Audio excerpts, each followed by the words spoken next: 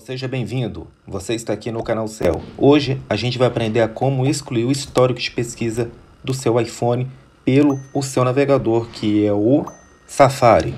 Então fica comigo até o final do vídeo, se inscreva no canal, deixa o seu like, é super importante. Essa dica eu acho que é muito útil justamente para aquelas pessoas que gostam de pegar o telefone da gente e ficar bisbilhotando o que a gente acessou, né? Quais são os sites que a gente é, acessou.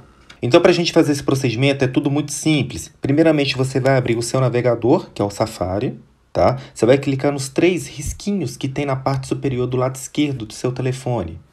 Ao fazer isso, você vai clicar em Histórico de Pesquisa. Feito isso, bem aqui embaixo está escrito Excluir. Você vai clicar em Excluir e você pode excluir somente o de hoje, ou excluir tudo, ou fazer até mesmo exclu é, exclusão automática aí, tá bom? E personalizado se você quiser. Eu vou estar tá excluindo tudo.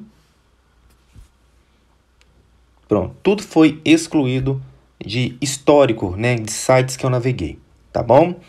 É, com o passar do tempo, sempre é bom a gente fazer uma limpeza né, no histórico do smartphone.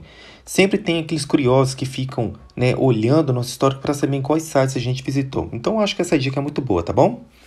Eu vou ficando por aqui, espero muito poder ajudar de certa forma e a gente se vê nesse mesmo canal em outra super dica. Até a próxima, gente!